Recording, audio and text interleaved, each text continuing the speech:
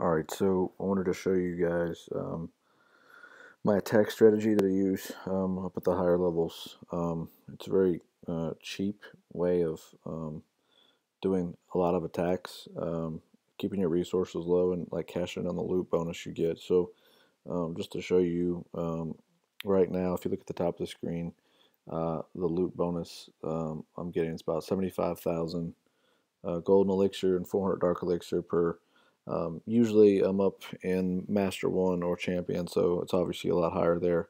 Um, so the, the strategy is to create the, the cheapest army possible. So if you look at what I've got right now, you'll notice mostly archers and, and barbarians and a couple of hogs. And uh, all of my attacks will show that except for, I was trying a different attack here, but uh, you can see all of my attacks are one stars. Um, I rarely lose, and it's 95 barbarians, 120 archers, 5 hogs, and then I use my king and queen. And um, the only time I really use clan troops or lightning spells uh, is if I need it. And um, usually I don't. Uh, and, and here's why. Um, when you see my replay, we sort of overwhelm the defenses. Uh, this strategy is called four-fingered fighting. And basically you use your index finger and your thumb on each hand to spread troops out uh, across the map as quickly as possible. So I do a, uh, a, round of barbarians to get all the defenses targeted. Then I drop uh, a round of archers, and I'll throw some hogs in at certain points uh, to break down some key defenses like mortars or, or wizard tower or something like that. But this strategy primarily only works with bases that have um, a lot of of buildings on the outside. So here you can see um, the battle's over quickly. As soon as I got one star, I ended it. I could have gotten more loot, but the downside to that would be I have to wait longer for my uh, king and queen to, to heal. Um, so um, that's the downside. I don't want to have to spend any resources. So again, if we if we watch the beginning of this, I drop a very thin layer of barbarians and archers all the way around using my thumb and index finger. Then um, I'll drop some hogs in right here. Probably not the best location in retrospect. Uh, and then the meanwhile, I drop in all of my archers. The hogs are sort of secondary. I've added it just because it's harder um, at the higher levels. Um, but you really want to find bases that don't have mortars or X-bows on the outside. And you want to find lower level wizard towers. So um, once you start seeing those dark, dark purple wizard towers, I try to avoid those bases. So uh, just really quick, I'll go back and find one more attack, and you can see when and where I would use my spells if necessary.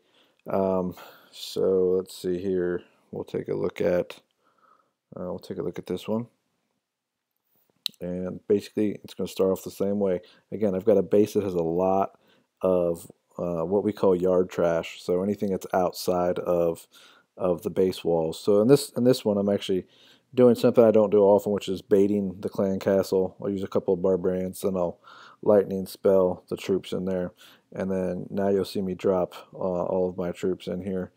And again, it, it overwhelms the defenses. So um, now I'll drop in my hogs, and then I'll drop in my archers.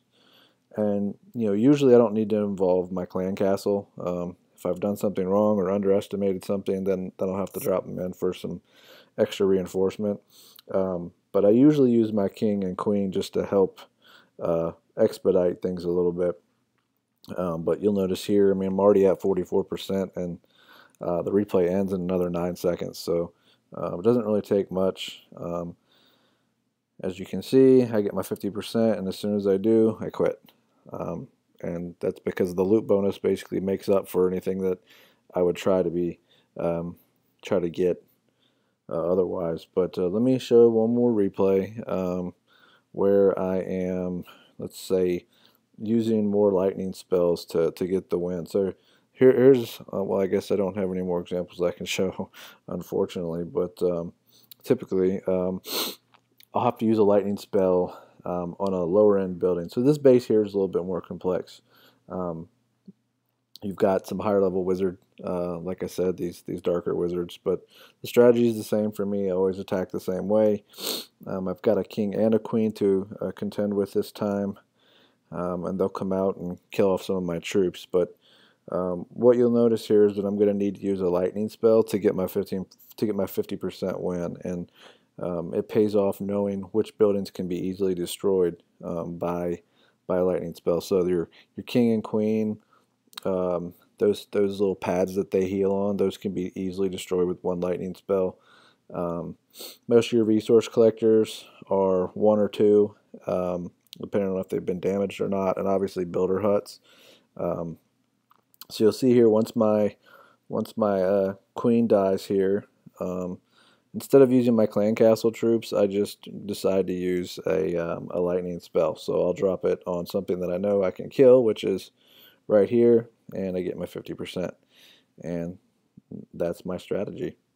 It's pretty effective. It's gotten me all the way to the Champions League, and uh, it's it's a cheap and easy way to um, keep upgrading your defenses. Like you can see here, you know my base is not not fully maxed. And that's because I'm not a gemmer. I don't spend uh, a lot of money on on gems. Like I I'll get an iTunes gift card and for someone for Christmas, and you know I'll use it. But um, that's pretty much it. You know, I'm trying to use all my resources to update my base as I go and spend as little as I can to do it. So, hope you guys enjoyed it.